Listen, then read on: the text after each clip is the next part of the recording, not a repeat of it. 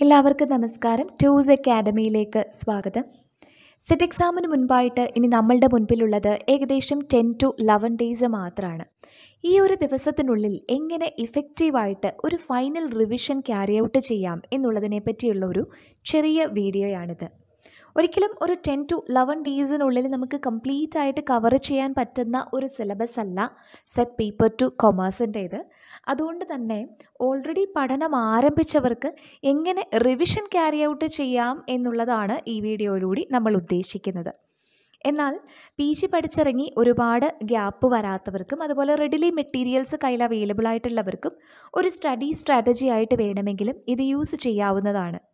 അതിനു മുൻപായിട്ട് പല രീതിയിലുള്ള തിരക്കുകളുടെയും ഇടയിൽപ്പെട്ട് ഇതുവരെയും ശരിയായ രീതിയിലുള്ള ഒരു പഠനം ആരംഭിക്കാത്തവർ ഓർക്കുക. നമ്മൾ ആഗ്രഹിക്കുന്ന രീതിയിലുള്ള ഒരു നാളെ വാർത്തെടുക്കാൻ നമ്മളുടെ മുൻപിലുള്ള അവസരം എന്ന് പറയുന്നത് ഇന്നാണ് അതായത് ഇന്നത്തെ ഈ ദിവസം. ഇന്നത്തെ ഈ ദിവസം നമ്മളുടെ മുൻപിലുള്ള ഈ ദിവസം ശരിയായി ഉപയോഗിച്ചെങ്കിൽ മാത്രമേ നമ്മൾ ആഗ്രഹിക്കുന്ന ഒരു നാളെ നമ്മൾക്ക് വാർത്തെടുക്കാൻ സാധിക്കുള്ളൂ. അതുകൊണ്ട് നമ്മൾ ഇനി കിട്ടുന്നതായിട്ടുള്ള ദിവസങ്ങളെങ്കിലും നല്ല രീതിയിൽ യൂട്ടിലൈസ് ചെയ്തുകൊണ്ട് പഠിക്കാനായിട്ട് തയ്യാറാകണം. Toss academy net set കേറ്റഡ് H S S T H S A L P U P എക്സാമുകളിൽ online coaching നടത്തി വരുന്ന മികച്ച ഒരു സ്ഥാപനമാണ്. നമ്മൾ coaching provide ചെയ്യുന്നതായിട്ടുള്ള subjects botany chemistry commerce economics English Malayalam mathematics physics zoology എന്നിവയാണ്. അതോടൊപ്പം തന്നെ ജനറൽ പേപ്പർ അതായത് പേപ്പർ വണ്ണിലുള്ള കോച്ചിങ്ങും ടൂസ് അക്കാഡമി പ്രൊവൈഡ് ചെയ്യുന്നുണ്ട്. അക്കാഡമിയിലെ കോച്ചിങ്ങുമായിട്ട് ബന്ധപ്പെട്ടുള്ള എൻക്വയറീസിനായിട്ട് സ്ക്രീനിൽ കാണുന്ന നമ്പറിൽ നിങ്ങൾക്ക് കോൺടാക്റ്റ് ചെയ്യാവുന്നതാണ്. കോൺടാക്റ്റ് ചെയ്യേണ്ട number seven five one zero one five five four eight five ഈ വീഡിയോയിൽ നമ്മൾ ഡിസ്കസ് ചെയ്യാൻ പോകുന്നത് സെറ്റ് പേപ്പർ ടു കൊമേഴ്സിന്റെ ഒരു ഫൈനൽ റിവിഷൻ സ്ട്രാറ്റജിയാണ് ഈ റിവിഷൻ സ്ട്രാറ്റജി തന്നെ ഇതേപോലെ ഫോളോ ചെയ്യണമെന്നില്ല. നമ്മൾ ഓരോരുത്തർക്കും നമ്മളുടേതായിട്ടുള്ള നേച്ചറുണ്ട് നമ്മളുടേതായിട്ടുള്ള സ്ട്രാറ്റജീസ് ഉണ്ട്. ഇതിനേക്കാളും ഇഫക്റ്റീവ് ആയിട്ടുള്ള സ്ട്രാറ്റജിയാണ് നിങ്ങൾ ഫോളോ ചെയ്യുന്നതുണ്ടെങ്കിൽ നിങ്ങൾക്ക് അത് തന്നെ ഫോളോ ചെയ്ത് പോകാം. അല്ലാത്തവർക്ക് ഈ സ്ട്രാറ്റജി ഫോളോ ചെയ്യാവുന്നതാണ്. ഞാൻ നേരത്തെ സൂചിപ്പിച്ചതുപോലെ ഇനി നമ്മളുടെ മുൻപിലുള്ളത് ആകെ പത്തോ പതിനൊന്നോ ദിവസമാണ്.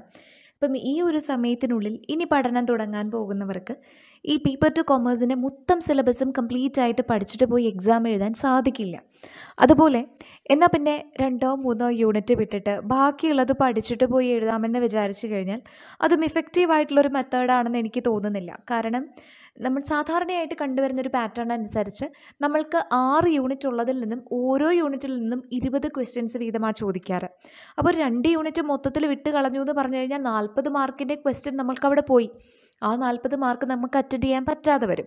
അപ്പോൾ അതുകൊണ്ട് ഒരു യൂണിറ്റ് മൊത്തത്തിൽ വിട്ട് കളയുന്നത് ഇഫക്റ്റീവ് ആയിട്ടുള്ള ഒരു മെത്തേഡല്ല അതുകൊണ്ട് ഇനി പഠനം ആരംഭിക്കാൻ പോകുന്നവർക്കാണെങ്കിലും ഏറ്റവും നല്ലൊരു കാര്യം എന്ന് പറയുന്നത് ക്വസ്റ്റ്യൻ പേപ്പർ അനലൈസ് ചെയ്തിട്ട് അതിൽ നിന്നും ഇമ്പോർട്ടന്റ് ആയിട്ടുള്ള ടോപ്പിക്കുകൾ പഠിക്കുക എന്നുള്ളതാണ്.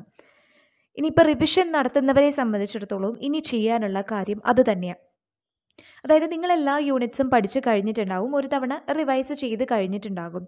ഇനി ചെയ്യേണ്ടത് ക്വസ്റ്റ്യൻ പേപ്പർ നിങ്ങൾ പ്രീവിയസ് ഇയർ ക്വസ്റ്റ്യൻ പേപ്പേഴ്സ് എടുത്ത് വെച്ചിട്ട് അതിൽ നിന്നും ഓരോ യൂണിറ്റിൽ നിന്നും വന്നതായിട്ടുള്ള ക്വസ്റ്റ്യൻസ് അടയാളപ്പെടുത്തി വെക്കുക. ഇനി ഓരോ ദിവസം ഓരോ യൂണിറ്റ് എന്നുള്ള രീതിയിൽ ആ ക്വസ്റ്റ്യൻ പേപ്പറിലുള്ള ക്വസ്റ്റ്യൻസ് വർക്കൗട്ട് ചെയ്ത് നോക്കണം. വർക്കൗട്ട് ചെയ്തതിന് ശേഷം ഇപ്പം ആദ്യത്തെ ദിവസം യൂണിറ്റ് വണ്ണിൽ നിന്നുള്ള പ്രീവിയസ് ഇയർ ക്വസ്റ്റ്യൻസ് അതൊരു മുൻപ് നടന്ന ഒരു അഞ്ചാറ് വർഷത്തെ ക്വസ്റ്റ്യൻ പേപ്പേഴ്സ് എടുത്ത് നിങ്ങളത് വർക്കൗട്ട് ചെയ്യണം. എന്നിട്ട് അതിൽ നിന്നും ഫസ്റ്റ് യൂണിറ്റിന്റെ ക്വസ്റ്റ്യൻസ് എടുത്ത് വെച്ചിട്ട് നിങ്ങളത് വർക്കൗട്ട് ചെയ്ത് നോക്കുന്നു ആദ്യത്തെ ദിവസം. എന്നിട്ട് നിങ്ങളത് കറക്റ്റാണോ റോങ് ആണോ എന്ന് നോക്കുക. ഇനിയിപ്പോൾ റോങ് ആൻസേഴ്സ് വന്നതായിട്ടുള്ള ഭാഗങ്ങൾ നിങ്ങൾ പുറകിലേക്ക് പോയിട്ട് വീണ്ടും റിവൈസ് ചെയ്യുക. നിങ്ങൾ റോങ് ആക്കിയതായിട്ടുള്ള ആൻസേഴ്സ് ഏത് ഭാഗത്തു നിന്നുള്ളതാണോ ആ ഭാഗം വീണ്ടും ഒന്നുകൂടി നിങ്ങൾ പോയിട്ടൊന്ന് റിവൈസ് ചെയ്യുക.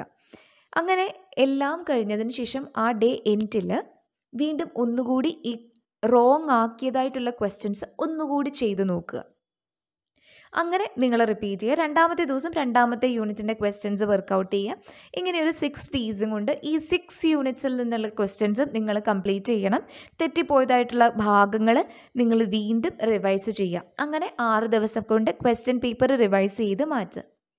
പിന്നീട് ഈ ഓരോ യൂണിറ്റിൽ നിന്നും തെറ്റിപ്പോകുന്ന ക്വസ്റ്റ്യൻസ് നിങ്ങൾ റിവൈസ് ചെയ്യുമ്പോൾ നിങ്ങൾ അതിൽ നിന്ന് നോട്ട്സ് പ്രിപ്പയർ ചെയ്യണം. നോട്ട്സ് എന്ന് പറയുന്നത് ഒറ്റ സെന്റൻസിലൊക്കെ കാണാവുള്ളൂ. അതായത് നമ്മൾ മറന്നു പോയതായിട്ടുള്ള പേരുകൾ അതുപോലെ ഇയർ അങ്ങനെയുള്ള ചെറിയ ചെറിയ കാര്യങ്ങളൊക്കെ നോട്ട് ചെയ്ത് നോട്ട് ചെയ്ത് പോവുക ഒരു നോട്ട്ബുക്കിൽ അതിനുശേഷം അടുത്തതായി ഉള്ള മൂന്ന് ദിവസങ്ങളിൽ നമ്മൾ ഈ യൂണിറ്റ് വൈസ് ഒന്ന് നോക്കണ്ട. പ്രീവിയസ് ഇയർ ക്വസ്റ്റ്യൻ പേപ്പേഴ്സ് ഒരു മൂന്നാൽ വർഷത്തെ എടുത്തിട്ട് അത് കംപ്ലീറ്റ് ആയിട്ട് വർക്കൗട്ട് ചെയ്യാൻ വേണ്ടിയിട്ട് ശ്രമിക്കാം. അപ്പോൾ നിങ്ങൾക്ക് ടൈം മാനേജ്മെന്റും അവിടെ പ്രാക്ടീസ് ചെയ്യാം. അതായത് എക്സാം ഹാളിൽ കയറി ഇരുന്നിട്ട് നമ്മൾക്ക് കൂടുതൽ സമയം എടുക്കാൻ പറ്റില്ലല്ലോ. അപ്പോൾ ഒരു ടൈം മാനേജ്മെന്റും നമ്മൾക്ക് ഈ ഒരു സമയത്ത് പ്രാക്ടീസ് ചെയ്യാനായിട്ട് പറ്റും. കഴിഞ്ഞ കുറേ വർഷങ്ങളിലെ ക്വസ്റ്റ്യൻ പേപ്പേഴ്സ് യൂണിറ്റ് വൈസ് ഒന്നും നോക്കണ്ട.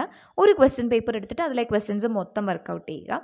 അങ്ങനെ രണ്ട് മൂന്ന് ദിവസങ്ങളിലായിട്ട് പല പല ക്വസ്റ്റ്യൻസ് വർക്കൗട്ട് ചെയ്യാം. അതിൽ നിന്നും തെറ്റിപ്പോകുന്നതായിട്ടുള്ള ഭാഗങ്ങൾ വീണ്ടും നിങ്ങൾ റിവൈസ് ചെയ്തുകൊണ്ടേ ഇരിക്കണം. അത്രയും ചെയ്ത് കഴിഞ്ഞതിന് ശേഷം ഇനിയിപ്പം എക്സാമിന്റെ ദിവസം. ഫസ്റ്റ് പേപ്പർ കഴിഞ്ഞ് കഴിയുമ്പം നിങ്ങൾക്ക് കുറച്ചൊരു രണ്ട് മണിക്കൂർ ഗ്യാപ്പ് കിട്ടുമല്ലോ സെക്കൻഡ് പേപ്പറിന് മുമ്പ്. ആ ഉള്ള സമയത്ത് നിങ്ങൾ ഈ നോട്ട്സിൽ നിങ്ങൾ എഴുതി വെച്ചിട്ടുള്ള ചെറിയ ചെറിയ പോയിന്റുകൾ ഉണ്ടല്ലോ അത് നിങ്ങൾ ഓടിച്ചിട്ടൊന്ന് വായിച്ചു നോക്കണം. നമ്മൾക്ക് തെറ്റിപ്പോയ ഭാഗങ്ങളാണ് നമ്മൾ നോട്ട്സ് പ്രിപ്പയർ ചെയ്തിട്ടുള്ളത്. അത് ഓടിച്ചിട്ടൊന്ന് വായിച്ചു നോക്കുക. കൺഫ്യൂഷൻ തോന്നുന്നതായിട്ടുള്ള ഏരിയാസ് വീണ്ടും ഒന്ന് റിവൈസ് ചെയ്യുക. പിന്നെ ഒരു തേർട്ടി മിനിറ്റ്സ് മുമ്പ് അല്ലെങ്കിൽ ഒരു ഫിഫ്റ്റീൻ മിനിറ്റ്സ് മുമ്പ് നിങ്ങൾ ഇതെല്ലാം തന്നെ ക്ലോസ് ചെയ്ത് സ്വസ്ഥമായിട്ട് ഹാളിൽ കയറിയിട്ടിരിക്കുക മൈൻഡ് ഫ്രഷ് ആക്കുക.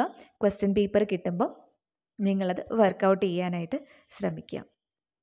സെറ്റ് പേപ്പർ ടു ഏതൊരു സബ്ജക്റ്റ് ആണെങ്കിലും അതിന്റെ റിവിഷനിൽ നമ്മളെ വളരെയധികം ഹെൽപ്പ് ചെയ്യുന്ന ഒരു കാര്യമാണ് പ്രീവിയസ് ക്വസ്റ്റ്യൻ പേപ്പർ വർക്കൗട്ട് എന്ന് പറയുന്നത്. പ്രീവിയസ് ക്വസ്റ്റ്യൻസ് അതേപോലെ തന്നെ ചോദിക്കില്ല. പക്ഷേ അത് വന്നതായിട്ടുള്ള ഏരിയാസിൽ നിന്നുള്ള ക്വസ്റ്റ്യൻസ് വരാനുള്ള സാധ്യത വളരെ കൂടുതലാണ്. അതുകൊണ്ട് തന്നെ റിവിഷൻ നടത്തുന്ന സമയത്ത് നിങ്ങൾ പ്രീവിയസ് ഇയർ ക്വസ്റ്റ്യൻസ് വന്നതായിട്ടുള്ള ഏരിയാസ് കവർ ചെയ്ത് പോകാനായിട്ട് ശ്രമിക്കുക. പിന്നെ അതുപോലെ നമ്മൾ ഈ നോട്ട്സ് മാത്രം ഇങ്ങനെ പഠിച്ചു പോകുന്നത് അത്ര എഫക്റ്റീവ് ആകില്ല. അപ്പം ക്വസ്റ്റ്യൻസ് വർക്കൗട്ട് ചെയ്ത് നോക്കണം. കാരണം നമ്മുടെ ഒബ്ജക്റ്റീവ് ടൈപ്പ് ക്വസ്റ്റ്യൻസ് ആണല്ലോ. വളരെ കൺഫ്യൂസിങ് ആയിരിക്കും ഓപ്ഷൻസ് അപ്പോൾ അതുകൊണ്ട് അങ്ങനത്തെ ക്വസ്റ്റ്യൻസ് പ്രാക്ടീസ് ചെയ്തെങ്കിൽ മാത്രമേ നമ്മൾക്ക് സ്പീഡിൽ എക്സാം ഹാളിൽ കറക്റ്റ് ആൻസേഴ്സ് പെട്ടെന്ന് ഐഡന്റിഫൈ ചെയ്യാനായിട്ട് പറ്റത്തുള്ളൂ. അപ്പോൾ അതുകൊണ്ട് അവസാനത്തെ നിമിഷങ്ങളിൽ നിങ്ങൾ പ്രീവിയസ് ഇയർ ക്വസ്റ്റ്യൻസ് അല്ലെങ്കിൽ ക്വസ്റ്റ്യൻ പേപ്പേഴ്സ് വർക്കൗട്ട് ചെയ്യാൻ വേണ്ടിയിട്ട് ടൈം അലോട്ട് ചെയ്യുക. അങ്ങനെ ചെയ്യുന്ന സമയത്ത് റോങ് ആകുന്നതായിട്ടുള്ള ആൻസേഴ്സ് വന്ന ഏരിയാസ് നിങ്ങൾ വീണ്ടും റിവൈസ് ചെയ്യണം. അതിൽ നിന്ന് ഷോർട്ട് നോട്ട്സ് പ്രിപ്പയർ ചെയ്യണം. എക്സാമിന് കയറുന്നതിന് മുമ്പായിട്ട് നിങ്ങൾ പ്രിപ്പയർ ചെയ്ത ഈ ഷോർട്ട് നോട്ട്സ് ഓടിച്ചിട്ട് വായിച്ച് നോക്കുകയും വേണം. ഇത്രയും കാര്യങ്ങൾ നിങ്ങൾ റിവിഷനിൽ ഉൾപ്പെടുത്തുക. ഞാൻ പറഞ്ഞതുപോലെ നിങ്ങൾക്ക് മറ്റുള്ള റിവിഷൻ സ്ട്രാറ്റജീസ് യൂസ് ചെയ്യാം. അതോടൊപ്പം നിങ്ങൾ ഇതുകൂടി ഇൻകോർപ്പറേറ്റ് ചെയ്താൽ നല്ലതായിരിക്കും. അപ്പം എന്തായാലും നല്ലതുപോലെ പ്രിപ്പയർ ചെയ്യുക. ടെൻഷൻ ഒന്നുമില്ലാതെ കൂളായിട്ട് എക്സാം എഴുതുക. വിജയം നിങ്ങളുടേത് തന്നെ ആയിരിക്കട്ടെ. All the very best